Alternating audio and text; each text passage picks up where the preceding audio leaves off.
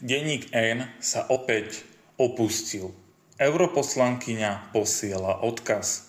Europoslankyňa Monika Beňová venovala svoj posledný príspevok na sociálnej sieti, špeciálne denníku N, ktorý sa už opäť opustil a vo svojich článkoch publikovaných po eurovoľbách píše svoje domienky o tom, čo sa asi tak stane.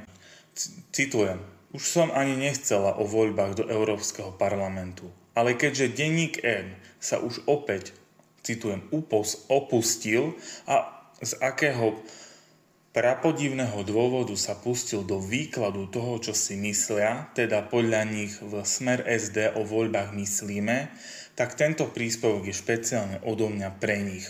Napísala europoslankyňa v úvode svojho príspevku. Uviedla, že v nedeľu vo svojom verejnom statuse zablahožela víťazom volieb. Napísala som, že sme skončili druhý, ale nakoľko, na rozdiel od denníka N, ktorý nikdy nikam nekandidoval, sú toto moje piaté voľby do Európskeho parlamentu, tak výsledok v porovnaní s tými predchádzajúcimi považujem za fantastický pre moju stranu. Zhodnotila.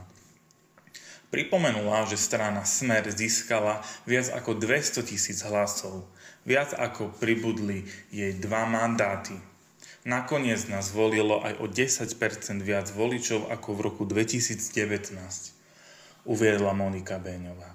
Preto vnímam tento výsledok ako naše víťazstvo.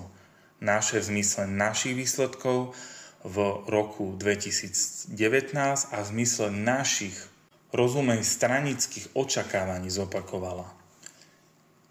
Nepísala a ani nehovorila som nič o republike dnes na TK som vyslovne povedala, že na nášho najbližšieho partnera považujem v Európskom parlamente kolegu Branislava Ondruša z hlas SD. Nikto z nás nepovedal, že za partnera pod, považujem niekoho iného.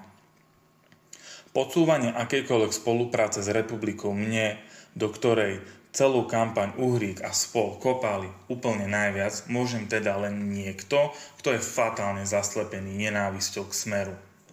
A to ešte pred pár dňami vypisoval, že ako sa dá teda v spoločnosti dosiahnuť zmier. Tak gratulujem tejto ceste. Napísala europoslankyňa na záver.